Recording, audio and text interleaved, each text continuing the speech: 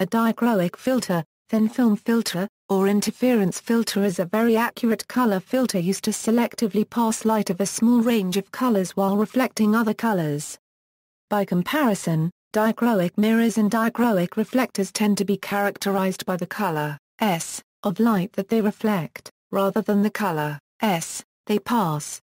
Dichroic filters can filter light from a white light source to produce light that is perceived by humans to be highly saturated in color. Although costly, such filters are popular in architectural and theatrical applications. Dichroic reflectors are commonly used behind a light source to reflect visible light forward while allowing the invisible infrared light to pass out of the rear of the fixture, resulting in a beam of light that is literally cooler.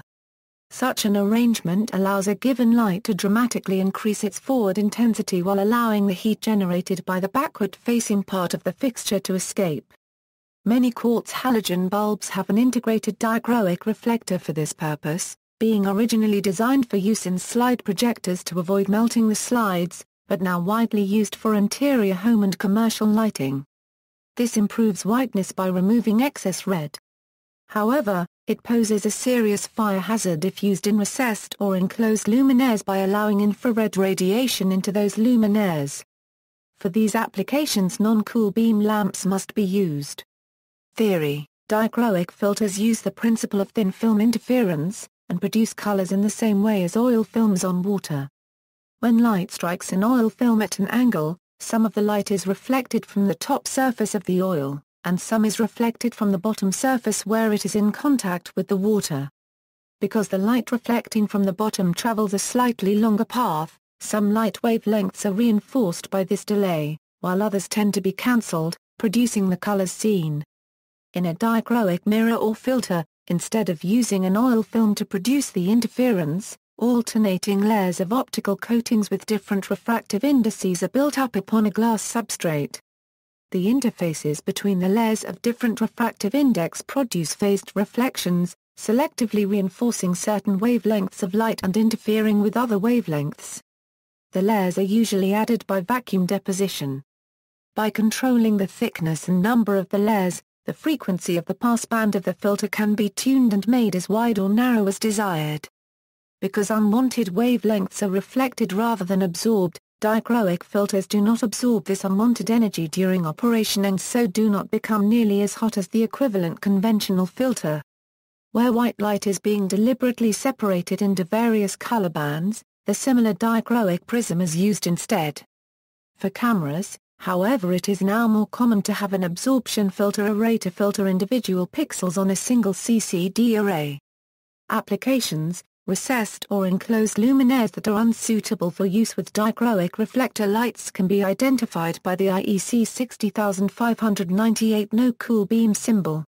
In fluorescence microscopy, dichroic filters are used as beam splitters to direct illumination of an excitation frequency towards the sample and then at an analyzer to reject that same excitation frequency but pass a particular emission frequency. Some LCD projectors use dichroic filters instead of prisms to split the white light from the lamp into the three colors before passing it through the three LCD units. They are used as laser harmonic separators. They separate the various harmonic components of frequency-doubled laser systems by selective spectral reflection and transmission. Advantages of dichroic filters, much better filtering characteristics than conventional filters, ability to easily fabricate a filter to pass any passband frequency and block a selected amount of the stopband frequencies, because light in the stopband is reflected rather than absorbed, there is much less heating of the dichroic filter than with conventional filters, much longer life than conventional filters. The color is intrinsic in the construction of the hard microscopic layers and cannot bleach out over the lifetime of the filter, filter will not melt or deform except at very high temperatures, capable of achieving extremely high laser damage thresholds. Disadvantages of dichroic filters, higher initial cost, glass dichroic filters are more fragile than plastic conventional filters, small scratches or patches of skin oil can badly degrade performance of a dichroic, instead of the graded loss of performance for a conventional plastic filter, can reflect light back into an optical system, specific bandpass depends on incidence angle. Other uses, artistic glass jewelry is occasionally fabricated to behave as a dichroic filter.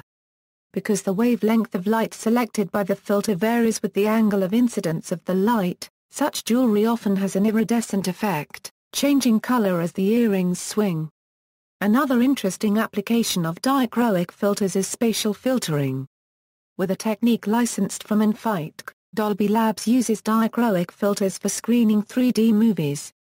The left lens of the Dolby 3D glasses transmits specific narrow bands of red, green and blue frequencies, while the right lens transmits a different set of red, green and blue frequencies. The projector uses matching filters to display the images meant for the left and right eyes. Long-pass dichroic filters applied to ordinary lighting can prevent it from attracting insects. In some cases, such filters can prevent attraction of other wildlife, reducing adverse environmental impact. Further reading, H. A. Macleod, Thin Film Optical Filters, I. Moreno, A.L., Thin Film Spatial Filters, Optics Letters 30, 914-916. See also, Color Gel, Dielectric Mirror, Fabia Europar Copyright ROT Interferometer or etalon for a mathematical description, filter, holographic versatile disc, thin film optics. References